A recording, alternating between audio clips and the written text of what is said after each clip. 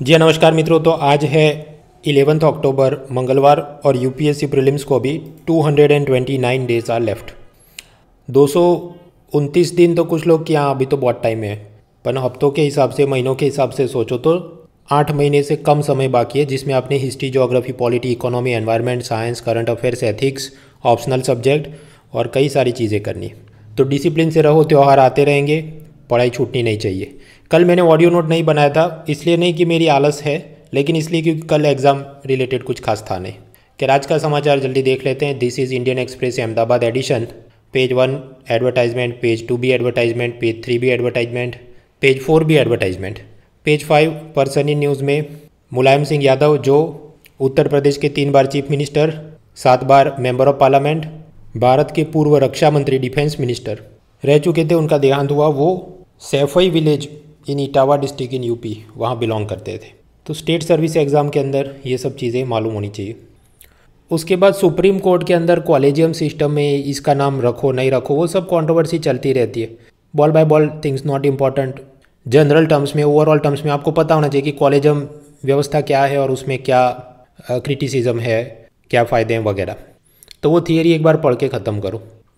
फिर Russia Ukraine के अंदर मिसाइल अटैक लेकिन वो रोज़ चलते ही रहता है। फिर page five six seven eight nine कुछ काम का नहीं, पेज दस से कॉलम चलते हैं। तो क्योंकि मुलायम सिंह यादव का देहांत हुआ तो उनकी सब ऑबिचुअरी श्रद्धांजलि या स्मरणांजलि प्रकार की जो कॉलम है, वो काफ़ी है। फिर वो ईरान के अंदर वो एक महिला ने ठीक से हिजाब नहीं पहना था और पुलिस ने टॉर्चर करके मार दिया, उसके बारे में सब कॉलम्स चल रहे हैं। पेज इलेवन पर सी राजा मोहन ने इंटरनेशनल रिलेशन में वो भारत, पाकिस्तान, भारत, अमेरिका रिश्तों के बारे में लिखा है। आप अपनी वोकेबुलरी आर्टिकुलेशन स्किल बेहतर करने, पढ़ सकते हैं, बाकी वही सब पुरानी बातें हैं। फिर फोर्टीन अक्टूबर 1956 को डॉक्टर बी आर आम्बेडकर ने बौद्ध धर्म अंगीकार किया था। उसके बारे में एक कॉलम है। सिनेमा हॉल बंद हो गए थे, फिर वापस चालू हुए, उसकी एक कॉलम लेकिन वो तो एग्ज़ाम के लिए खास काम की नहीं। पेज ट्वेल्व पर पॉलिटिक्स में वही सब शिवसेना और उसकी इलेक्शन चुनाव चिन्ह की सब कॉन्ट्रोवर्सी कल भी मैंने वो एक मीम बनाकर आपको बताया था कि यही कॉन्ट्रोवर्सी पहले भी हो चुकी है। मतलब ये तो करीब जून, जुलाई से मामला चला तो उस वक्त भी एक्सप्लेन सीरीज़ आई थी। मेरे ख्याल से पिछले साल भी कुछ ये एल पार्टी के अंदर ऐसा विवाद चल रहा था, दो गुट हो गए, तब भी थियरी एक्सप्लेन सीरीज़ आई थी। तो आप तैयारी कर रहे हैं तो एक बार में पढ़ के ख़त्म करो, उसकी क्या सिस्टम है। मतलब आपका जो भी पुराना करंट अफेयर्स बैकलॉग होगा, जो भी आप मंथली पी देखते होंगे तो ये मतलब रोज़ कुआ को दो रोज़ पानी निकालो दैट इज़ नॉट हेल्दी और एफिशिएंट वो ऐसी बात है कि तंबाकू जिसको एडिक्ट हो गया है तो दीवार से वो खुरेज खुरेज के चूना निकलता है और रोज़ उसको तंबाकू में मिला के खाता है। ये जो रोज़ खुरेज खुरेज के करंट अफेयर्स निकालना रादर देन की सब सिलेबस को कंप्लीट करने की प्रायोरिटी रखना, वो आपने मैंटालिटी चेंज करने की ज़रूरत है। Page thirteen places in news में महाकाल लोक कॉरिडोर जिसका मध्य प्रदेश के उज्जैन में उद्घाटन होने वाला है। फिर पेज 15 14 में उसकी सब एक्सप्लेन सीरीज़ है। कुल मिलाकर कि वहाँ पर रिलीजियस पिलग्रिम टूरिज़्म को प्रमोट हो सके, इसलिए ये सब इंफ्रास्ट्रक्चर डेवलपमेंट उज्जैन में हो रहा है, जिसका नाम है इस प्रोजेक्ट का नाम है महाकाल कॉरिडोर उसके बाद नोबेल इन इकोनॉमिक्स अब जब हम कहते हैं नोबेल इन इकोनॉमिक्स तो असल में technically correct word is Sveriges Riksbank prize in economic science इस बार अमेरिका के तीन इकोनॉमिक्स को दिया गया, और जिस चीज़ के लिए दिया गया वो समझने में बहुत आसान है, कि बैंकिंग एंड फाइनेंशियल क्राइसिस के रिसर्च के बारे में। तो कुल मिलाकर इनका ये कहना है, पहली बात, हम पहले ये ऐसा सोचते थे कि अगर इकोनॉमिक क्राइसिस आती है तो बैंक फेल हो जाते। हैं मतलब जो आर्थिक संकट है, उसका परिणाम होता है बैंकिंग व्यवस्था में संकट। जबकि इनका ये कहना है कि नहीं कभी कभी ये होता है कि बैंकिंग व्यवस्था में संकट आता है, जिसके चलते आर्थिक संकट आता है। Banking crisis itself can result into financial crisis and therefore strong regulation over the banking system is necessary अब आपके यहाँ ये तो कॉमन सेंस की बात है, लेकिन पहले फिफ्टी सिक्सटी सेवेंटीज़ एटीज़ के ज़माने में ऐसा नहीं सोचा जाता था। फिर ये बैन बर्नाकी जो मेरे ख्याल से अमेरिका की सेंट्रल बैंक के एक ज़माने में गवर्नर भी थे, उसने एटीज़ के ज़माने में ऐसा रिसर्च पेपर लिखा और उसके बाद इस चीज़ की अहमियत समझी गई और स्ट्रॉन्ग रेगुलेशन बैंकिंग सिस्टम पे सिस्टम पे लागू किए गए। उसके अलावा बाकी जो दो इकोनॉमिस्ट हैं, उनका रिसर्च ऐसा कहता है कि एक तरफ़ जो डिपॉजिटर्स हैं, उनको पैसा सेव भी करना है और वो ये चाहते हैं कि हमको जब भी इच्छा हो तो हम पैसा विड्रॉ भी कर सकें मतलब डिमांड डिपॉजिट जैसा। और सामने जो लोग लोन ले रहे हैं, वो ये चाहते हैं हमको लोन मिले तो हमको बहुत देरी से दस, बारह, पंद्रह साल बाद धीरे धीरे चुकाना पड़े, ऐसा हमको चाहिए। तो जो डिपॉजिटर है, उनको जल्दी जल्दी पैसा वापस चाहिए, जो लोन टेकर है उनको तो देरी से पैसा रिटर्न करना है। तो इन दोनों की रिक्वायरमेंट को बैलेंस कैसे करे तो वो काम बैंक करता है। कि आपने पैसा डिपॉजिट किया, अब कल आप विड्रॉ भी कर सकते थे ऐसा नहीं कि उसने जो लोन में दिया था, वो पैसा लेके आपको वापस दिया नहीं, तब तक किसी और डिपॉजिटर ने दिया होगा, है ना? तो इसकी टोपी उसके सर पे चलते रहती। तो ये जो पूरी प्रोसेस है, उसको हम कहते हैं मैच्योरिटी ट्रांसफॉर्मेशन मैच्योरिटी ट्रांसफॉर्मेशन तो इसके ज़रिए बैंक ये पूरी सिस्टम को चलाता है और वो बहुत ज़ोरदार चीज़ है ऐसी सब रिसर्च उसके बाद तीसरी एक्सप्लेन सीरीज़ है कि भारत में पूरी दुनिया में सबसे ज़्यादा गरीब लोग कहाँ हैं? परसेंटेज वाइज नहीं नंबर वाइज एक करोड़, दो करोड़, पचास करोड़ ऐसा।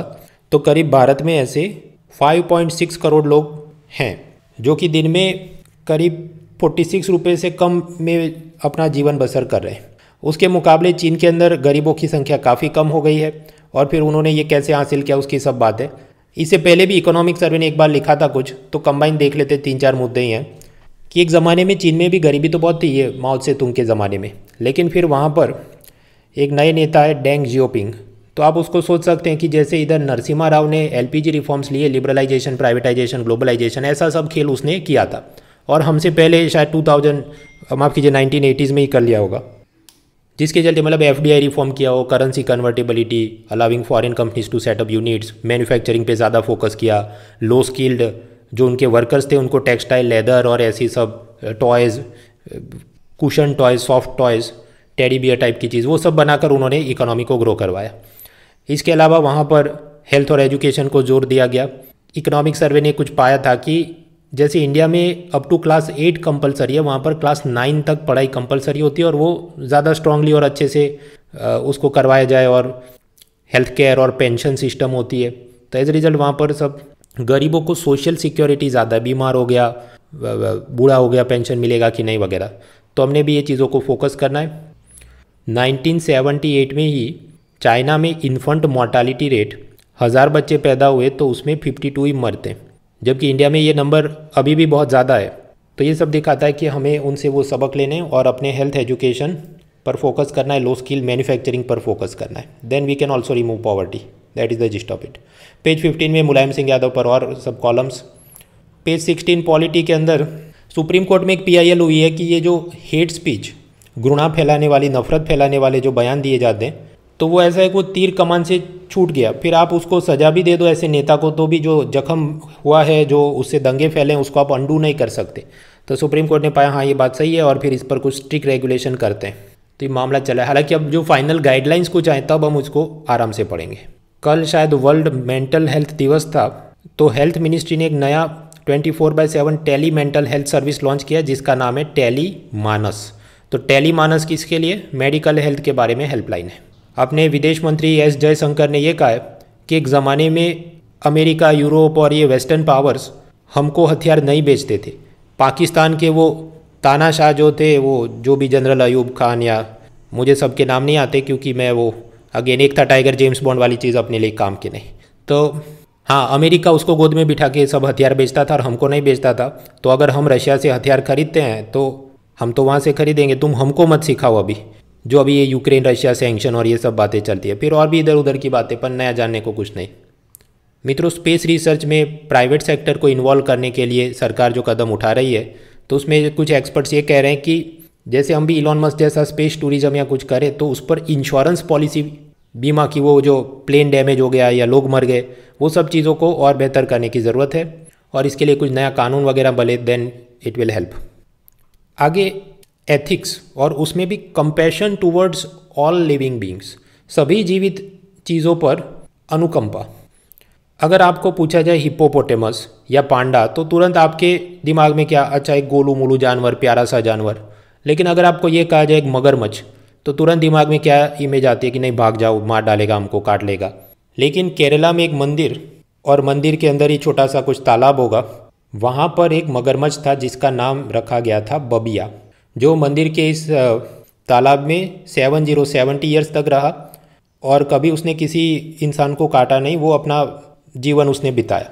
तो वहाँ सब श्रद्धालुओं का ये मानना है कि ये मतलब खुद में एक सन्यासी था तो जब इसका देहांत हुआ तो सब अंतिम विधि की गई, जैसे एक हिंदू सन्यासी की की जाती है और अंत में उसको दफना दिया गया, भू समाधि दी गई। तो आपका इसमें क्या, ये तो सब धार्मिक चीज़ें आप बता रहे हैं। मित्रों एथिक्स भी है ना?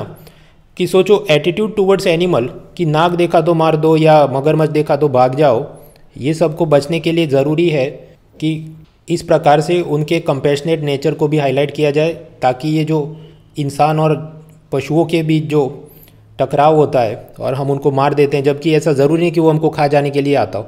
They will not attack unless usually unless they are attacked दूसरा, ये जो टेंपल ट्रस्ट बोर्ड था, उसके चेयरमैन ने ये भी खुलासा दिया कि हम ऐसा नहीं कह रहे कि ये क्रोकोडाइल मतलब वेजिटेरियन बन गया था मंदिर में रह के। हालाँकि, मंदिर में जो प्रसाद दिया जाता था तो कभी कभी वो वो चीज़ भी खाता था। मतलब कि रिलीजन के साथ आप देखिए, साइंटिफिक टेम्पर भी उन्होंने कायम रखा। वरना सामान्य रूप से ऐसा कुछ होता है तो कुछ लोग सब अंधश्रद्धा फैलाते हैं कि ये तो क्रोकोडाइल वेजिटेरियन था वगैरह। तो चेयरमैन ने खुद ही बोल दिया, नहीं, ऐसा नहीं था। तो मैन एंड एनिमल के बीच ये कंपेशन और ये सब में सोचने, लिखने के मुद्दे डिपेंड करते हैं आपको क्या पूछा गया और आप उसे कैसे कोट करके आगे बढ़ाना चाहते हैं। लंबा सा कुछ निबंध पूछा हो। जैसे अभी निबंध पूछा था लेटेस्ट एग्ज़ाम में कि जंगल को देखकर हम लोग बिज़नेस में क्या सीख सकते हैं। तो उसी तरह कि जानवरों को देख के हम एथिक्स में क्या सीख सकते हैं। कि जब तक उसको अटैक ना किया जाए, वो खुद से अटैक नहीं करता है इंसानों पर। लेकिन हम उल्टा उन पर, उनका शिकार करते हैं वगैरह। तो think about this you will get many points to reflect page seventeen ये अमेरिका में कुछ रैप स्टार है कानिए वेस्ट तो वो सब ऐसा लिख रहे जूइश पीपल को मार दो वगैरह, और उसका ट्विटर इंस्टाग्राम ब्लॉक हुआ। खैर, वो पर्सन इन न्यूज़ काम का नहीं समझना, हमको ये है कि ये जो हेट स्पीच हेट स्पीच की बात होती है तो हेट स्पीच सिर्फ़ भारत के लिए मर्यादित समस्या नहीं है, अमेरिका में भी है। और वहाँ पर ऐसे जो भी पढ़े लिखे और मशहूर सेलिब्रिटी टाइप लोग, वो भी ऐसी घृणा फैला रहे कि यहूदियों को मार दो वगैरह। पेज सेवनटीन पर एक और चीज़ है, वो काम की, अगर रीडिंग आप हॉबी के रूप में, शौक के रूप में अपने इंटरव्यू फॉर्म में लिखने वाले हैं बात ऐसी है कि कॉलिन हुवर नाम की एक महिला, उसने अमेरिका में बाकी सब नॉवेलिस्ट के मुकाबले ज़्यादा उसकी किताबें इस बार बिक गई। वहाँ के फ़ेमस नॉवेलिस्ट में वो जॉन ग्रीशम वगैरह हैं, जो शायद वो लीगल थ्रिलर टाइप की बुक्स लिखते हैं। तो ये महिला की ऐसी खास यूनिक बात क्या है कि इसकी किताब ऐसे कैसे बिकती होंगी? अब वो ऐसे नहीं कि जैसे वो हैरी पॉटर वाली जे के रॉलिंग्स, वो यंग एडल्ट और ऐसी एक रटी रटाई चीज़ की हैरी पॉटर की जो आठ दस किताबें बनाई, ऐसा इसकी सीरीज़ नहीं, ये कुछ भी लिख देती है। कभी यंग एडल्ट के लिए लिखा, कभी कुछ साइकोलॉजिकल थ्रिलर लिख दी, कभी डोमेस्टिक वायलेंस का लिख दिया कोई भी ड्रग्स का लिख दिया। तो उसका कहना ये है कि ये जो हमने रटे रटाए फार्मूला बनाए हैं कि इस टाइप की बुक होगी तो ही वो बेस्ट सेलिंग बनेगी, ऐसा ज़रूरी नहीं है। कोई भी बुक बेस्ट सेलर बन सकती है फिक्शन मतलब काल्पनिक कथाओं में। और उसके चाहने वाले बहुत हैं और वो बहुत वायरल सब बनता है वगैरह। तो मतलब इंटरव्यू में आपने लिखा है कुछ reading is my hobby and fiction reading और आपको कुछ पूछा जाता है कि अच्छा अभी कौन से जॉनर बहुत अच्छे चल रहे हैं? लीगल थ्रिलर है या क्राइम है या डिटेक्टिव या फैंटेसी फिक्शन? तो मतलब ये भी एक एंगल सोचने लायक है कि ऐसा ज़रूरी नहीं है। कुछ भी लिखो तो भी वो वायरल हो जाता है। डिपेंड करता है इंस्टाग्राम फॉलोवर टिकटॉक वाले, वो आपका क्या वायरल करवा देते हैं। Page eighteen, economy. मित्रों, जब पबजी बैन हुआ था तो मुझे इतना झटका नहीं लगा था जितना आज लगा है, क्योंकि VLC प्लेयर जो कि वीडियो चलाने के लिए मैं खुद भी सॉफ्टवेयर यूज़ करता हूँ तो इसको सरकार ने अब कि इसको बैन कर देंगे इसकी वेबसाइट, क्योंकि ये सब चाइना को डेटा दे देता है। Care not important for exam दूसरा इकोनॉमी में इंटरनेशनल ट्रेड इन रुपया वो कुल मिलाकर बात जो उसका जिस्ट है, वो ऐसा ही है जैसा वो हमने रूपी रूबल अग्रीमेंट समझा था, कि अगर हम स्विफ्ट मैकेनिज्म से स्विफ्ट फाइनेंशियल मैसेजिंग सिस्टम से रुपये को डॉलर में कन्वर्ट करो और पेमेंट सेटलमेंट करो, ये वो करते हैं तो वो वाली चीज़ में तो रशिया को बैन कर दिया अमेरिका ने वो सब जो यूक्रेन क्राइसिस हुई। हालाँकि स्विफ्ट मैसेजिंग सिस्टम वो सिस्टम वो बेल्जियम की कोई संस्था चलाती है, पर ये वेस्टर्न पावर का अपना सब जगह वो दबाव बनता है। तो हमने ये सोचा कि क्यों ना सीधा अलग अलग करेंसी में सीधा सेटलमेंट होता रहे। कि जैसे रशिया इंडिया से मतलब इंडिया अगर रशिया से कुछ खरीदता है ऑयल गैस और हम उसको पेमेंट कर देंगे रुपये करेंसी में, और वो यूको बैंक या भारत के ऐसी कोई बैंक में डाल देंगे पैसा। और फिर उस अकाउंट से रशिया की कंपनी उन्हीं रूपी करेंसी से भारत में से उसको जो भी अनाज, चावल, दवाइयाँ खरीदनी वो खरीद के ले जाए। तो इससे फ़ायदा क्या होगा कि ये जो dollar exchange rate volatility international sanction in सबसे हम हट सके। तो ऐसा इंटरनेशनल ट्रेड इन रूपी आरबीआई ने गाइडलाइंस भी बनाई थी, लेकिन भारत के सिर्फ़ दो बैंक यूको बैंक और यस बैंक ने ऐसा उसके लिए जो वॉस्ट्रो अकाउंट या सिस्टम बनानी होती है, वो किया। क्योंकि बाकी सब बैंकों को डर लगता है कि हम ऐसा कुछ करेंगे तो अमेरिका वाले हम पर भी सैंक्शन लगा देंगे। अब आपको प्रश्न हो कि सैंक्शन लगे तो हम तो इधर है ना वो रहा अमेरिका क्या बिगाड़ लेगा हमारा? भाई स्टेट बैंक ऑफ़ इंडिया की अगर कोई ब्रांच न्यूयॉर्क में होगी तो सैंक्शन लगाने का मतलब है वो अमेरिका वाले उस ब्रांच को भी बंद करवा देंगे और उसकी डिपॉजिट सारी पेनल्टी में ले लें, ऐसा सब खेल हो सकता है। सो देर इज़ सम हेजिटेशन हाँ तो जानने लायक एक दो मुद्दे क्या है? एक तो ये कि ये डॉलर का, माफ़ कीजिए रूपी का सीधा ट्रेड करने के लिए जो अकाउंट बना जाए, उसका नाम होगा स्पेशल वॉस्ट्रो अकाउंट आर तो चाहते हैं सभी बैंक ऐसा करें ताकि डॉलर का जो डोमिनेशन है, प्रभुत्व है, वो कम हो सके। लेकिन बैंकों को डर लगता है क्योंकि अमेरिका उन पर सैंक्शन यानी प्रतिबंध लगा सकता है। पेज 18 पर और एक एफिशिएंसी आप जानते हैं वो सेवंथ पे कमीशन सातवां वेतन आयोग। तो वेतन आयोग जब बनता है तो सरकारी कर्मचारियों की सैलरी सीधी बढ़ा देते हैं। लेकिन अब सरकार ने ये कहा कि ये जो सरकारी जनरल इंश्योरेंस कंपनी है, वो New India Insurance Oriental Insurance वगैरह या एल भी तो उनको अपने स्टाफ की सैलरी बढ़ानी है तो ठीक है, सरकार उनको पैसा देगी, लेकिन शर्त है कि it should be linked with performance मतलब वो स्टाफ ने कितना काम किया, वो कितने नए कस्टमर लेके आया, वो सब तुम करके आओ तो तुम्हारा सैलरी बढ़ाएँगे, ऐसे हवा में सीधा ही नहीं बढ़ा देंगे। तो मतलब ये क्या पब्लिक सेक्टर अंडरटेकिंग को प्रॉफिटेबल करने के लिए एफिशिएंट करने के लिए, वहाँ का स्टाफ जो आलसी और पैर फैला के टेबल पे बैठता हो तो वो बंद हो जाए, काम करे, इसलिए ये सब किया जा रहा है। इंश्योरेंस का ही नाम लिया तो I R D A I full form याद रखना है insurance regulatory and development authority of India उसने पाया कि भारत में ये जो व्हीकल होते हैं, आप जानते हैं third party motor vehicle insurance compulsory लेना होता है, कानून में लिखा है। मतलब आप किसी को गाड़ी ठोक देंगे तो उसका जो नुकसान हुआ तो इंश्योरेंस कंपनी भरपाई करे, लेकिन उसका प्रीमियम वो आपके सर पे होता है वगैरह। तो ये चीज़ कंपलसरी है, लेकिन फिर भी भारत में पचास परसेंट से ज़्यादा व्हीकल अनइंश्योर्ड है। मतलब शुरू में पहली बार आप खरीदते हैं, तब तो कंपलसरी लिया होगा, लेकिन वो पॉलिसी एक्सपायर हो जाए, फिर उसको रिन्यू नहीं कराते, वगैरह। और साथ ही साथ, भारत में हर एक सौ लोगों के सामने सिर्फ़ तीन लोगों के पास लाइफ इंश्योरेंस है। तो ये सब चिंता का भी है, क्योंकि वो मर जाएगा तो उसकी फैमिली का फिर कौन ख्याल रखेगा? So insurance penetration insurance density ये सब बढ़ाने के लिए कदम उठाना ज़रूरी है। पेज नाइनटीन ट्वेंटी सब स्पोर्ट्स के समाचार, कुछ खास काम का नहीं। तो ये था आज का newspaper see you next time